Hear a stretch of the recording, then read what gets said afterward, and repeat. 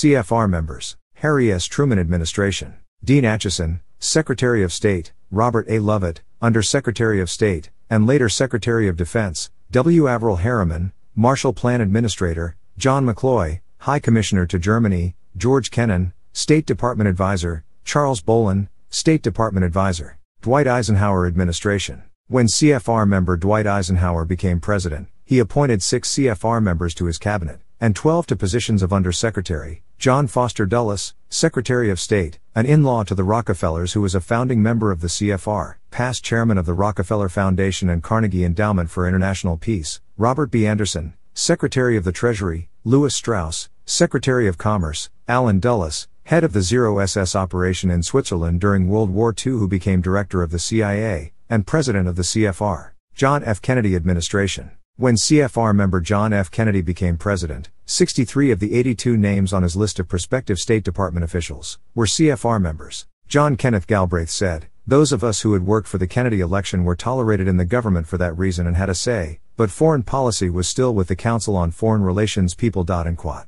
Among the more notable members in his administration, Dean Rusk, Secretary of State, C. Douglas Dillon, Secretary of the Treasury, Adlai Stevenson, UN Ambassador, John McCone, CIA Director, W. Averell Harriman, Ambassador at Large, John J. McCloy, Disarmament Administrator, General Lyman L. Lemnitzer, Chairman of the Joint Chiefs of Staff, John Kenneth Galbraith, Ambassador to India, Edward R. Murrow, Head of the U.S. Information Agency, Arthur H. Dean, Head of the U.S. Delegation to the Geneva Disarmament Conference, Arthur M. Schlesinger Jr., Special White House Assistant and noted historian, Thomas K. Finletter, Ambassador to NATO and the Organization for Economic Cooperation and Development, George Ball, Under Secretary of State for Economic Affairs, McGeorge Bundy, Special Assistant for National Security, who went on to head the Ford Foundation, Robert McNamara, Secretary of Defense, Robert F. Kennedy, Attorney General, Paul H. Nitze, Assistant Secretary of Defense, Charles E. Bohlen,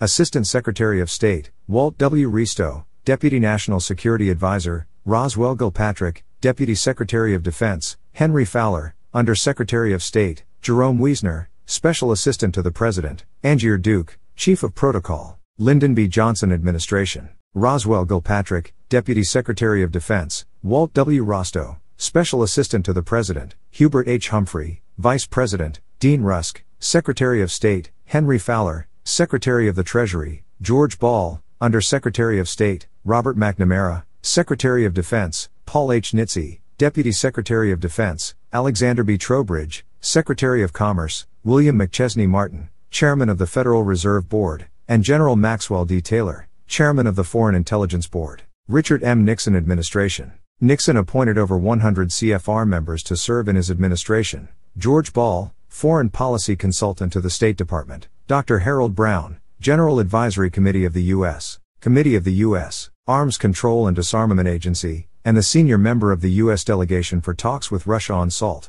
Dr. Arthur Burns, Chairman of the Federal Reserve, C. Fred Bergsten, Operations Staff of the National Security Council, C. Douglas Dillon, General Advisory Committee of the U.S. Arms Control and Disarmament Agency, Richard N. Cooper, Operations Staff of the National Security Council, General Andrew J. Goodpaster, Supreme Allied Commander in Europe, John W. Gardner, Board of Directors, National Center for Volunteer Action, Elliot L. Richardson, under Secretary of State, Secretary of Defense, Attorney General, and Secretary of Health, Education and Welfare, David Rockefeller, Task Force on International Development, Nelson A. Rockefeller, head of the presidential mission to ascertain the views of leaders in the Latin America countries, Rodman Rockefeller, member, Advisory Council for Minority Enterprise, Dean Rusk, General Advisory Committee of the U.S. Arms Control and Disarmament Agency, Gerald Smith, Director, Arms Control and Disarmament Agency, Cyrus Vance, General Advisory Committee of the U.S. Arms Control and Disarmament Agency, Richard Gardner, Member of the Commission on International Trade and Investment Policy, Senator Jacob K. Javits,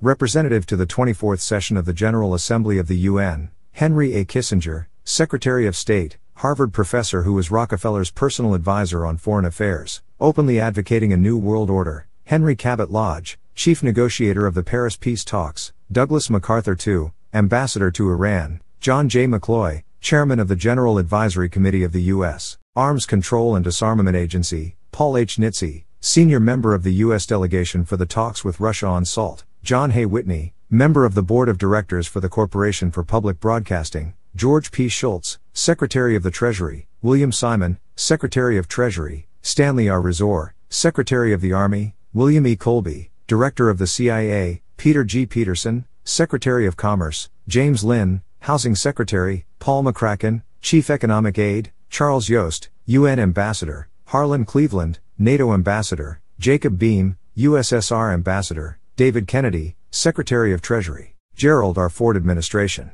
When CFR member Gerald Ford became president, among some of the other CFR members, William Simon, Secretary of Treasury, Nelson Rockefeller, Vice President, Jimmy Carter Administration. President Carter, who became a member in 1983, appointed over 60 CFR members to serve in his administration. Walter Mondale, Vice President, Zbigniew Brzezinski, National Security Advisor, Cyrus R. Vance, Secretary of State, W. Michael Blumenthal, Secretary of Treasury, Harold Brown, Secretary of Defense, Stansfield Turner, Director of the CIA, General David Jones, Chairman of the Joint Chiefs of Staff, Ronald Reagan Administration. There were 75 CFR and Trilateral Commission members under President Reagan, Alexander Haig, Secretary of State, George Shultz, Secretary of State, Donald Regan, Secretary of Treasury, William Casey, CIA Director, Malcolm Baldrige, Secretary of Commerce, Jeane J. Kirkpatrick, UN Ambassador, Frank C. Carlucci, Deputy Secretary of Defense, William E. Brock, Special Trade Representative,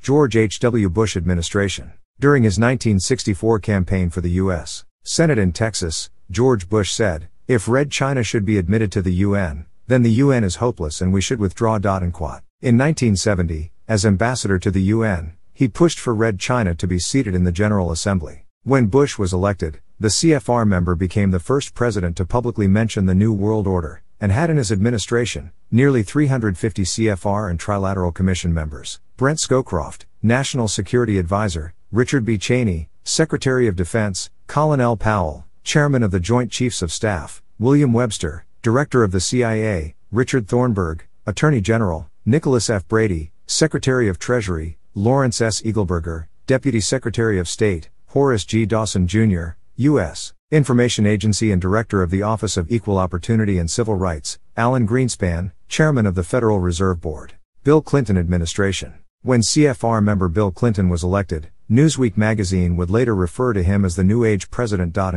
In October 1993, Richard Harwood, a Washington Post writer, in describing the Clinton administration, said its CFR membership was the nearest thing we have to a ruling establishment in the United States and quote. Al Gore, Vice President, Donna E. Shalala, Secretary of Health and Human Services, Laura D. Tyson, Chairman of the Council of Economic Advisers, Alice M. Rivlin, Deputy Director of the Office of Management and Budget, Madeleine K. Albright, U.S. Ambassador to the UN, Warren Christopher, Secretary of State, Clifton R. Wharton Jr., Deputy Secretary of State and former Chairman of the Rockefeller Foundation, Leigh Aspin, Secretary of Defense, Colin Powell, Chairman, Joint Chiefs of Staff, W. Anthony Lake, National Security Advisor, George Stephanopoulos, Senior Advisor, Samuel R. Berger, Deputy National Security Advisor, R. James Woolsey, CIA Director, William J. Crowe Jr., Chairman of the Foreign Intelligence Advisory Board, Lloyd Bentsen, former member, Secretary of Treasury, Roger C. Altman, Deputy Secretary of Treasury, Henry G. Cisneros, Secretary of Housing and Urban Development, Bruce Babbitt, Secretary of the Interior, Peter Tarnoff, Under Secretary of State for International Security of Affairs, Winston Lord, Assistant Secretary of State for East Asian and Pacific Affairs, Strobe Talbott, Aid Coordinator to the Commonwealth of Independent States, Alan Greenspan, Chairman of the Federal Reserve System, Walter Mondale, U.S. Ambassador to Japan, Ronald H. Brown, Secretary of Commerce, Franklin D. Raines, Economics and International Trade. George W. Bush Administration. Richard Cheney, Vice President, former Secretary of Defense under President Bush, Colin Powell, Secretary of State, former Chairman of the Joint Chiefs of Staff under Presidents Bush and Clinton, Condoleezza Rice, National Security Advisor, former member of President Bush's National Security Council, Robert B. Zoellick, U.S. Trade Representative, former Under Secretary of State in the Bush administration, Elaine Chao, Secretary of Labor, Brent Scowcroft, Chairman of the Foreign Intelligence Advisory Board, former National Security Advisor to President Bush, Richard Haass, Director of Policy Planning at the State Department and Ambassador at Large, Henry Kissinger, Pentagon Defense Policy Board, former Secretary of State under Presidents Nixon and Ford, Robert Blackwill, U.S. Ambassador to India, former member of President Bush's National Security Council, Stephen Friedman, Senior White House Economic Advisor, Stephen Hadley, Deputy National Security Advisor, former Assistant Secretary of Defense under Cheney, Richard Perle, Chairman of Pentagon Defense Policy Board, former Assistant Secretary of Defense in the Reagan administration, Paul Wolfowitz, Assistant Secretary of Defense, former Assistant Secretary of State in the Reagan administration and former Undersecretary of Defense in the Bush administration, Dov S. Zakheim, Undersecretary of Defense, Comptroller, former Undersecretary of Defense in the Reagan administration, I. Lewis Libby, Chief of Staff for the Vice President, former Deputy Undersecretary of Defense. The Christian Science Monitor said that almost half of the council members have been invited to assume official government positions or to act as consultants at one time or another. And quote. The council accepts only American citizens, and has a membership of about 3,600, including influential bankers, corporate officers, and leading government officials who have been significantly affecting domestic and foreign policy for the past 30 years. Every member had been handpicked by David Rockefeller, who heads the inner circle of the CFR. It is believed that the hierarchy of their inner circle includes descendants of the original Illuminati conspirators, who have Americanized their original family names in order to conceal that fact. Some of the CFR directors have been Walter Lippmann, 1932 37, Adlai Stevenson, 1958 62, Cyrus Vance, 1968 76, 1981 87, Zbigniew Brzezinski, 1972 77, Robert O. Anderson, 1974 80, Paul Volcker, 1975 79, Theodore M. Hesburgh, 1926 85, Lane Kirkland, 1976 86, George H. W. Bush, 1977 79, Henry Kissinger, 1977 81, David Rockefeller, 1949 85, George Shultz, 1980 88, Alan Greenspan, 1982 88, Brent Scowcroft, 1983 89, Jeane J. Kirkpatrick, 1985, Warren M. Christopher, 1982 91, and Richard Cheney, 1987 89. Among the members of the media who have been in the CFR, William Paley, CBS, Dan Rather, CBS, Harry Reasoner, CBS, Roone Arledge, ABC, Bill Moyers, NBC, Tom Brokaw, NBC, John Chancellor, NBC, Marvin Kalb, CBS, Irving Levine, PBS, David Brinkley, ABC, John Scully, ABC, Barbara Walters, ABC, William Buckley, PBS, George Stephanopoulos, ABC, Daniel Schorr, CBS, Robert MacNeil, PBS, Jim Lehrer, PBS, Diane Sawyer, ABC, and Hodding Carter III, ABC. Some of the college presidents that have been CFR members Michael I. Sovern, Columbia University, Frank H. T. Rhodes, Cornell University, John Brademas, New York University, Alice S. Ilchman, Sarah Lawrence College, Theodore M. Hesburgh, Notre Dame University, Donald Kennedy, Stanford University, Benno J. Schmidt Jr., Yale University, Hannah Holborn Gray, University of Chicago, Stephen Muller, Johns Hopkins University, Howard R. Swearer, Brown University, Donna E. Shalala, University of Wisconsin, and John P. Wilson, Washington and Lee University. Some of the major newspapers, news services, and media groups that have been controlled or influenced by the CFR New York Times, Sulzberger's, James Reston, Max Frankel, Harrison Salisbury, Washington Post, Frederick S. Beebe, Katharine Graham, Osborne Elliott, Wall Street Journal, Boston Globe, Baltimore Sun, Chicago Sun Times, LA Times Syndicate, Houston Post, Minneapolis Star Tribune, Arkansas Gazette, Des Moines Register, and Tribune, Louisville Courier, Associated Press, United Press International, Reuters News Service, and Gannett Company, publisher of USA Today, and 90 other daily papers, plus 40 weeklies, and also owns 15 radio stations, 8 TV stations, and 40,000 billboards. In 1896, Alfred Oakes bought the New York Times, with the financial backing of J.P. Morgan, CFR, August Belmont, Rothschild agent, and Jacob Schiff, Kuhn, Loeb. It later passed to the control of Arthur Oakes Sulzberger, who was also a CFR member. Eugene Meyer, a CFR member, bought the Washington Post in 1933. Today it is run by his daughter, Katharine Graham, also a member of the CFR. Some of the magazines that have been controlled or influenced by the CFR, Time, founded by CFR member Henry Luce, who also published Fortune, Life, Money, People, Entertainment Weekly, and Sports Illustrated, and Hedley Donovan, Newsweek, owned by the Washington Post, W. Averell Harriman, Roland Harriman, and Lewis W. Douglas, Business Week, U.S. News and World Report, Saturday Review, National Review, Reader's Digest, Atlantic Monthly, McCall's, Forbes, Look, and Harper's Magazine. Some of the publishers that have been controlled or influenced by the CFR Macmillan, Random House, Simon, and Schuster, McGraw Hill, Harper Brothers, Harper, and Row, Yale University Press, Little Brown and Company, Viking Press, and Cowles Publishing. G. Gordon Liddy, former Nixon staffer, who later became a talk show pundit, laughed off the idea of a new world order, saying that there are so many different organizations working toward their own goals of a one world government, that they cancel each other out.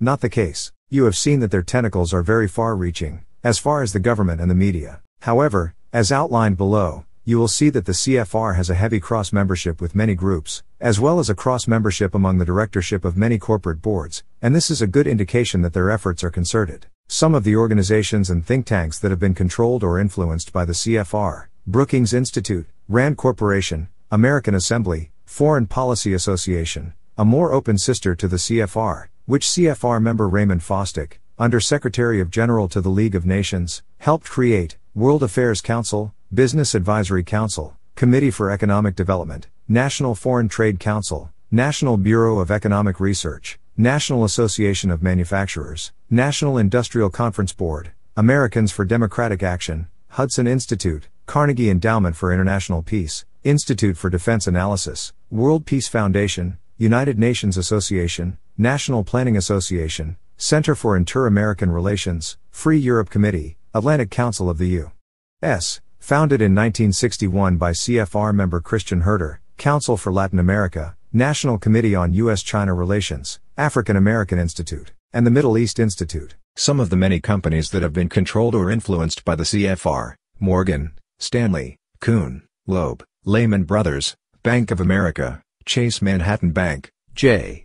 P. Morgan & Co., First National City Bank, Brown Brothers, Harriman, & Co., Bank of New York, Citibank slash Citicorp, Chemical Bank, Bankers Trust of New York, Manufacturers Hanover, Morgan Guaranty, Merrill Lynch, Equitable Life, New York Life, Metropolitan Life, Mutual of New York, Prudential Insurance, Phillips Petroleum, Chevron, Exxon, Mobil, Atlantic Richfield, Arco, Texaco, IBM, Xerox Corporation, AT&T, General Electric, ITT Corporation, Dow Chemical, E. I. DuPont, BMW of North America, Mitsubishi, Toyota Motor Corporation, General Motors, Ford Motor Company, Chrysler, U.S. Steel, Procter & Gamble, Johnson & Johnson, Estee Lauder, Avon Products, R. J. R. Nabisco, R. H. Macy, Federated Department Stores, Gimbel Brothers, J. C. Penney Company, Sears, Roebuck & Company, May Department Stores, Allied Stores, American Express, PepsiCo, Coca-Cola, Pfizer, Bristol-Myers Squibb, Hilton Hotels, and American Airlines. In September 1922, when the CFR began publishing its quarterly magazine, Foreign Affairs, the editorial stated that its purpose was to guide American opinion. Quote. By 1924, it had established itself as the most authoritative American review dealing with international relations. Quote. This highly influential magazine has been the leading publication of its kind, and has a circulation of over 75,000. Reading this publication can be highly informative as to the views of its members. For instance, the spring, 1991 issue, called for a UN standing army, consisting of military personnel from all the member nations, directly under the control of the UN Security Council. A major source of their funding, since 1953, stems from providing a corporate service to over 100 companies for a minimum fee of $1,000 that furnishes subscribers with inside information on what is going on politically and financially, both internationally and domestically, by providing free consultation, use of their extensive library, a subscription to foreign affairs, and by holding seminars on reports and research done for the executive branch. They also publish books and pamphlets, and have regular dinner meetings to allow speakers and members to present positions, award study fellowships to scholars, promote regional meetings and stage roundtable discussion meetings. Being that the Council on Foreign Relations was able to infiltrate our government, it is no wonder that our country has been traveling on the course that it has. The moral, educational, and financial decline of this nation has been no accident. It has been due to a carefully contrived plot on behalf of these conspirators, who will be satisfied with nothing less than a one world government. And it is coming to that. As each year goes by, the momentum is picking up, and it is becoming increasingly clear what road our government is taking. The proponents of one world government are becoming less secretive, as evidenced by George Bush's talk of a new world order. And quote. The reason for that is that they feel it is too late for their plans to be stopped. They have become so entrenched in our government, our financial structure, and our commerce, that they probably do control this country, if not the world. In light of this, it seems that it will be only a matter of time before their plans are fully implemented.